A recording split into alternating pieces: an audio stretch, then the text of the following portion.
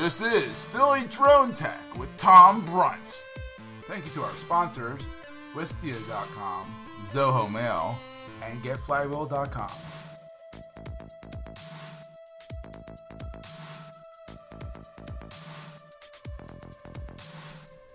Hello, welcome to another edition of Philly Drone Tech here on the phillytech.org Netcast Network. I'm Tom Brunt. Uh, well, uh, the Christmas season is uh, now, by the time you see this, is now over. And, uh, well, I'm guessing a number of you uh, that are watching this uh, just got yourself a quadcopter for Christmas, otherwise known as a drone. So now I bet you're wondering what to do now. how do you have fun with it? And there's a couple things you need to know about it. So I'm hoping to use this episode of my podcast uh, for all the uh, the new folks out there uh, that are just getting into this uh, fantastic hobby, and uh, what you need to know to fly uh, fly safely and have fun. So I'll I'll get back to a new episode next time where I I visited the, the, the Government Video Expo and Drone Show. it's an event they have every year and for the first time, they had a section for drones. And uh, there's a lot of good, uh, there's some, some clips I'm showing you here right now. A lot of good info that I picked up from this thing. A lot of seminars, I talked to people from the FAA, and uh, it's, uh, there's, there's, a lot I can talk about.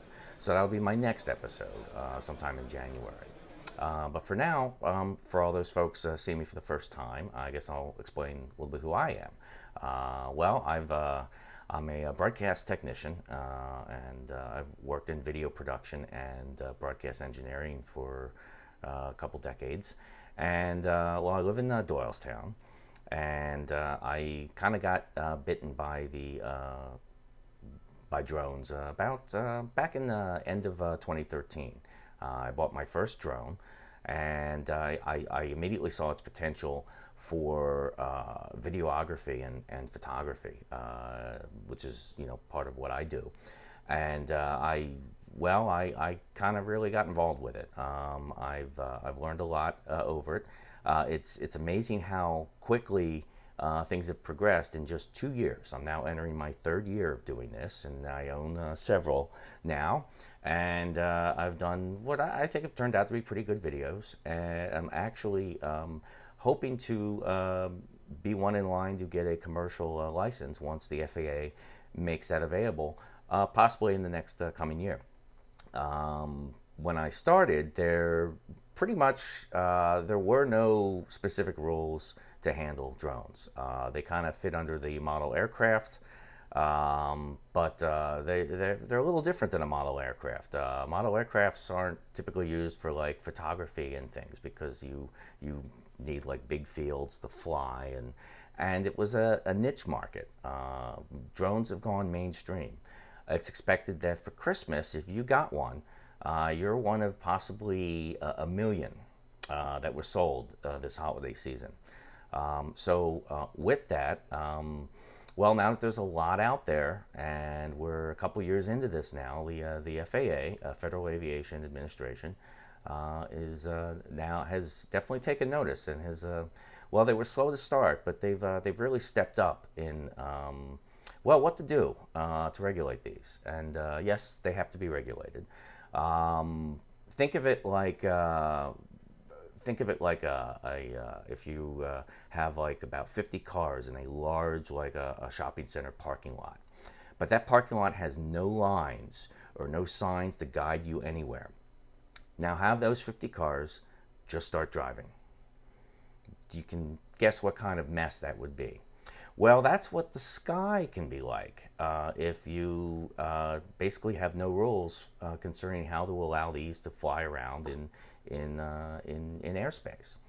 So, uh, with that, uh, the FAA has um, this is their second year of of working with um, campaigns to basically market toward consumers that are just getting into the the hobby the first for the first time. So I'm I'm hoping to share some knowledge with you about how what to do now now that you you have a, a drone.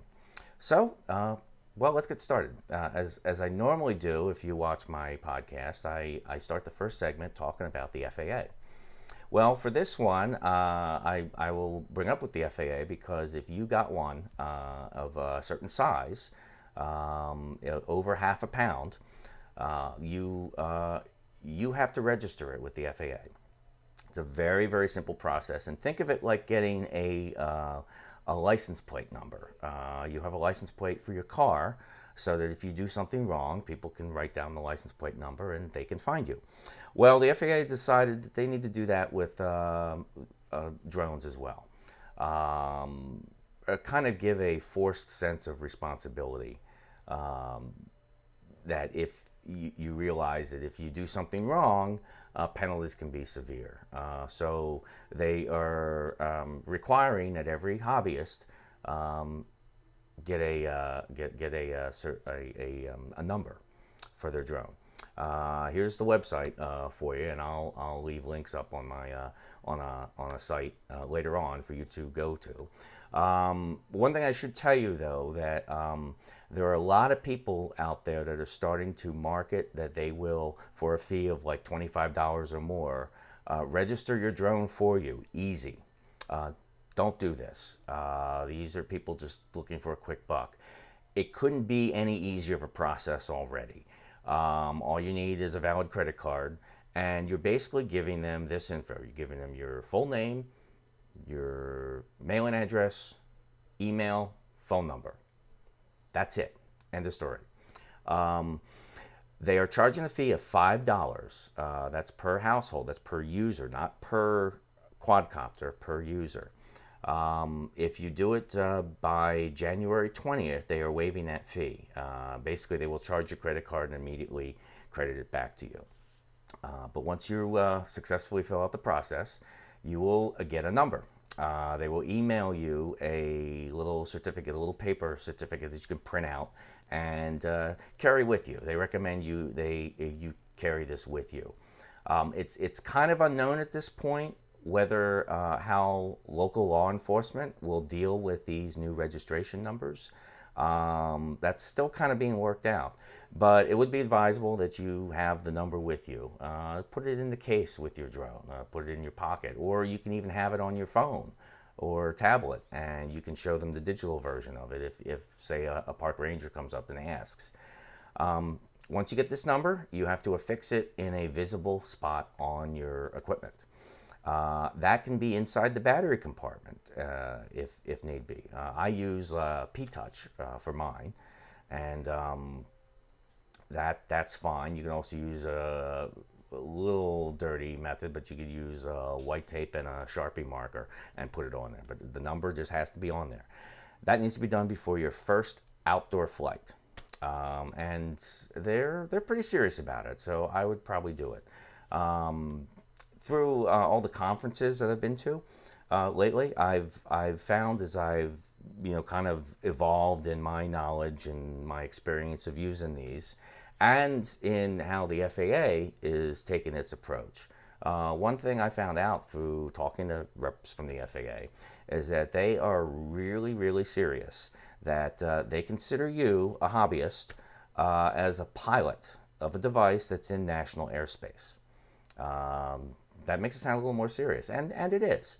Uh, there's a lot going on up there uh, in airspace. Uh, there's your your airports uh, and planes. Uh, that uh, it's it's very critical. We have we've had near misses, as you've probably heard about on the news, but we have we've so far have yet to have a, an actual collision with drones.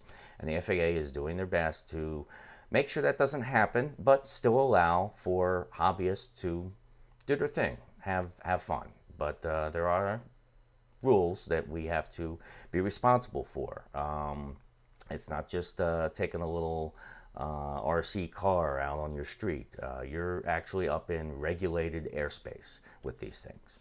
Um, so the next thing is uh, that I should tell you is that which do you have a drone that needs to be registered?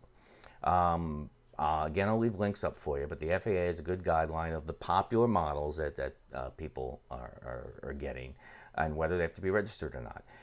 Basically, if it costs less than $100, chances are it's too light and small to uh, be registered. Here's uh, here's a good example of one. This is a this is a little one, little guy here. Uh, this was about eighty dollars. It's got a little fixed camera there, and uh, yeah, I like to put faces on them. Um, so this one weighs uh, less than half a pound with the battery. Uh, this does not go. It basically can travel maybe 100, uh, 150 feet in the air, and that's if there's no wind. If you have a big wind up there, it's going to fly away because it's so light. So this is considered a toy class. Uh, a lot of you may have gotten these uh, for Christmas, and I, I, I, it's great if you did because I actually, as I recommend to people that want to get involved in uh, flying uh, uh, quadcopters, start with one of these little guys. Uh, they're a little more manual. You need to kind of learn some more skills of flying. But uh, you you do get to learn skills on something that's kind of very cheap, and you know they tend to bounce, not crash. And uh, these things here are um, well, they could be anywhere from eight hundred to two thousand uh, dollars. I wouldn't advise uh, starting to learn how to fly with one of these, uh, just because uh, a couple of reasons. One, uh, it's it's a much more serious. Uh, it definitely will be registered with the FAA, and uh, it's as I tell people, they ask me, well, how, how high can, that, can one of these fly? And I give them the answer enough to make airplanes and the FAA very nervous. And that's true. So if you're new starting out, you, you, you, know, this is, uh, this is good to, to, to have after you get experience on one of these little guys. So even if you got one of these for Christmas, I recommend just going to like the mall or uh, store and uh, pick up one of these cheap ones, even like fifty dollars, and uh, fly around with it. And because they, they fly basically the same way uh, as the big one. In fact, the big one has more controls to make it easier to fly. So if you can master flying one of these little guys uh, and you get used to it, then uh, that's going to be cake, and then you'll be ready for it. Um, so uh, there we go there. Um, and actually, here's another one here. I have a, this is a really little tiny one here. Uh, yeah, don't worry about registering this. Uh, these are uh, these are little little guys here. These are fun too. I mean, you you might have made well. They they they're starting to sell these now too. Uh, maybe your children uh, got one for your kids. Again, surprisingly, they fly very well. But again, too small and light to bother with registering. So, um, now that uh, you've registered and um, you know you're ready to take it out for a flight, I'm going to take a quick little sponsor break that I normally do. And when I come back, I'm going to give you some uh, hints and tips uh, with battery care and all that. So um, stick around. I'll be right back in a few seconds. Today's show is sponsored by Wistia. Wistia is a video hosting and analytics platform that helps businesses get the most out of online video. We use Wistia here at phillytech.org.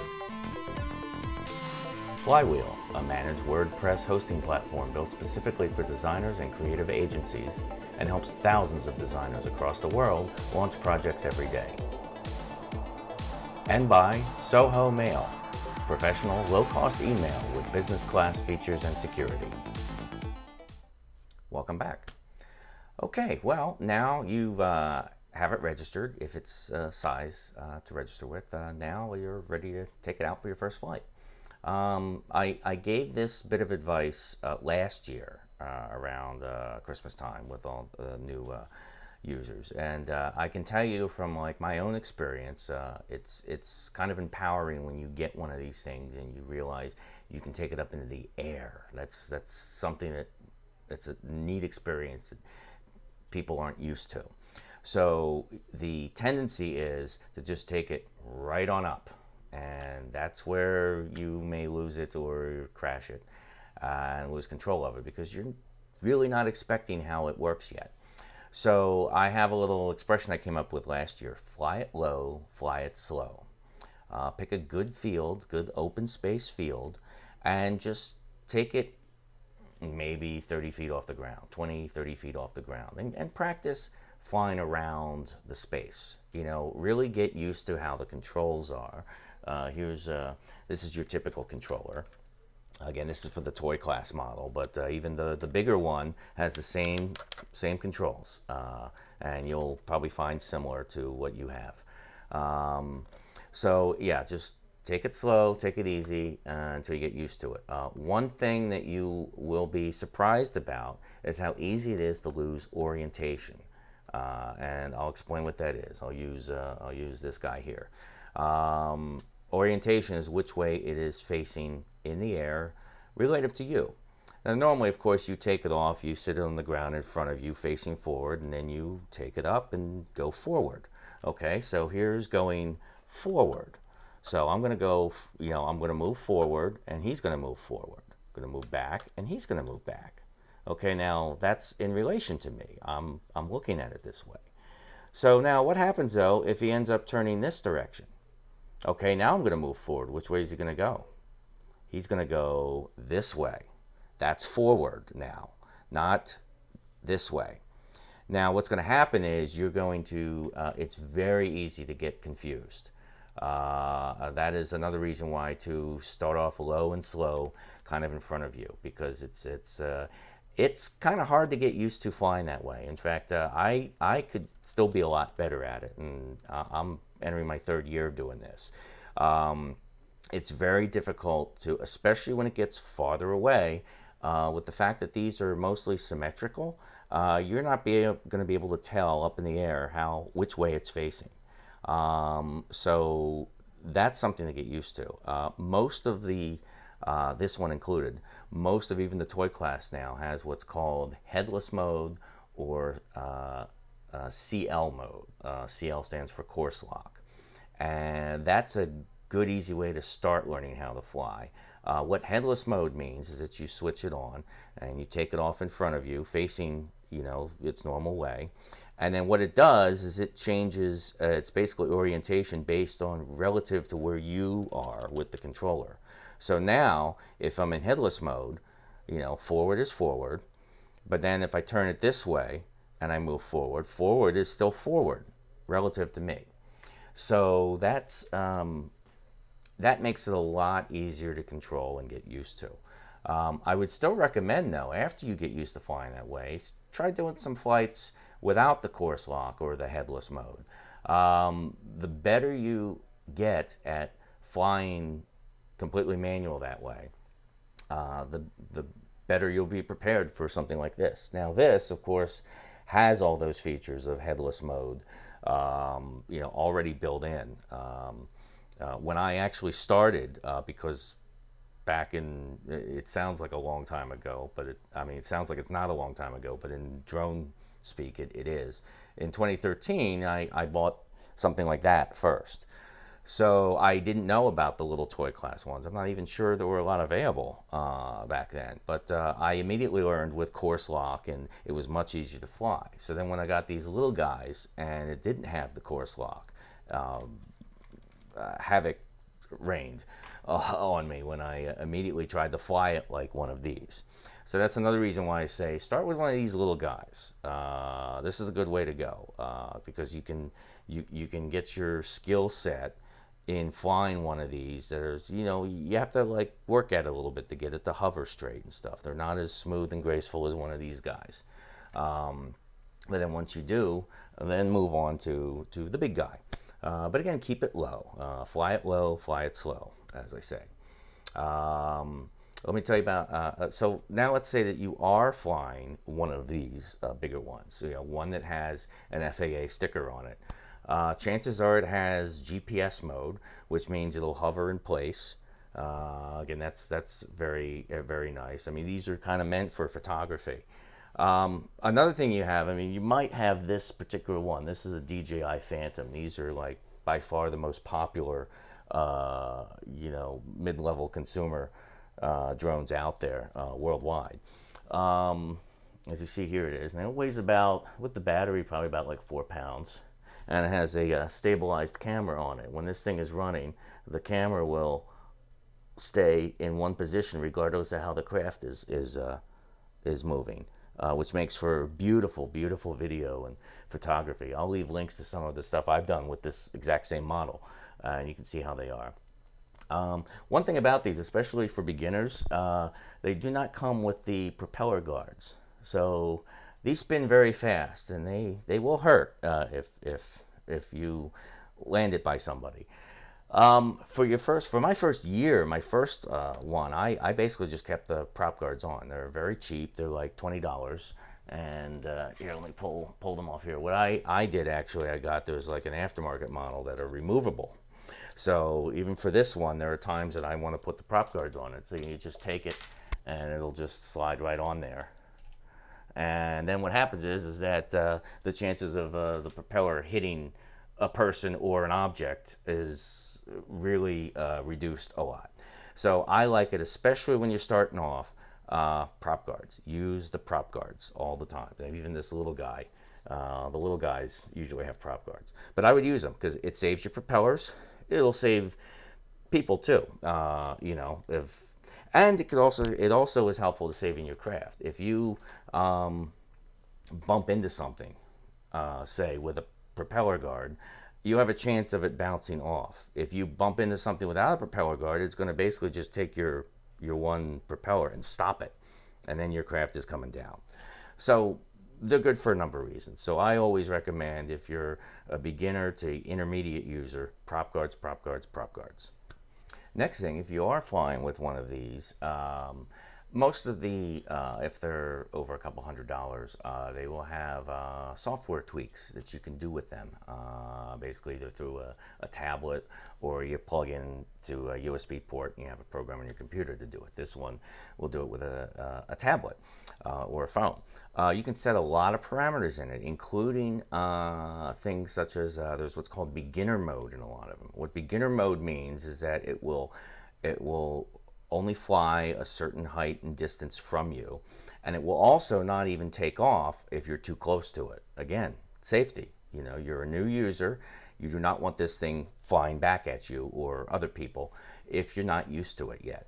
So there's beginner mode. I would recommend you start off with that. Um, also, when you get out of beginner mode, uh, then you can set things for height and distance. Um, how high can you fly? Well, the, uh, the legal limit by the FAA is 400 feet, uh, with exception. Uh, if you're within five miles of an airport, uh, that's uh, considerably less, and you really shouldn't even be flying it. But if you're certainly if your house, if you look up and you see that you're in a direct flight path of an airport, or even a small one, and you see planes that look very, very low, um, don't fly your drone there.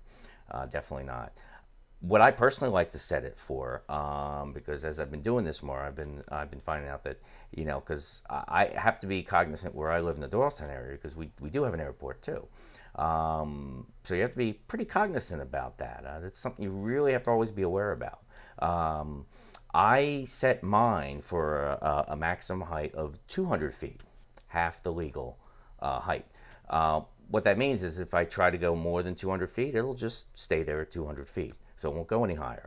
So, and really for what you like to do with photography and stuff, I find 200 feet is plenty high.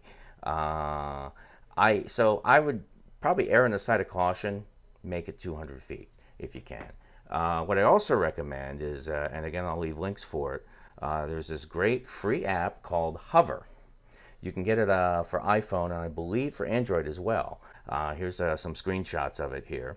It gives you a couple indications, and then it also gives you a map, uh, and it'll show you uh, where the uh, no-fly zones are. So as you see, I'm, I'm right in, I'm toward the end of a, of a airport no-fly zone. So technically, I shouldn't even, uh, I shouldn't be flying there. Um, if your house is among that distance and you really want to fly, basically uh, don't go any higher than your your trees. Um, you know, if you want to practice in your in your backyard, just don't go any higher than that. Um, find a uh, field. What I what I like to do, um, even when I travel, is I tend to try to look up uh, local parks. Uh, local parks are, are typically good. Um, right now, a lot of them haven't like made rules concerning drones yet. So if you're there, you're nice and responsible. Um, use a local park. Uh, again, that's also good for uh, having a nice open field that you can use if you don't have one available, uh, like in your in your backyard. Um, so uh, that's that's good there. Okay, next, uh, let me tell you a little bit about um, batteries. Uh, the bigger ones have LiPo batteries. You may have heard about LiPo batteries. Uh, you're probably familiar with hearing all the horror stories about the hoverboards. Uh, in fact, you might have decided not to get a hoverboard for someone for Christmas because of the stories of them uh, catching on fire. Uh, those are LiPo batteries, and yes, they're um, nature of the beast. Uh, they you do have to take some care of them. Uh, this is a LiPo battery for my uh, Phantom uh, Pro, which is actually a smart battery. So it's got some. this one's actually pretty good because uh, it actually has some electronics in it and will do things like if it's sitting for too long, like I have it set for three days. If it sits for more than three days, it starts to discharge itself so that it's not full voltage sitting there in the case. Um, usually, when they're fully charged sitting around, that's when they can have problems, or typically charging usually causes problems. It's rare, and the media picks up on a lot of those stories, but um, it's still something to be aware of. Um, some other drones uh, might have, these are standard RC batteries. Uh, you buy these for a number of things. Even RC cars and stuff will have these batteries. These batteries don't have any smarts in them. Uh, so it's best if you're storing them for a while, um, run them down. Go out for a flight and then just don't charge them uh, for a while.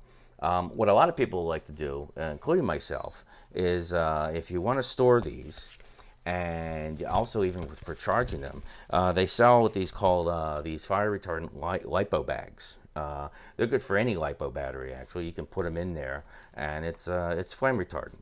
Um, again, it's it's good to be safe. Um, it's it's it's more of a rare occurrence than I think what you're you're you're being led to believe on the press. But it's again, you see, I have a lipo bag, so I I still use them too.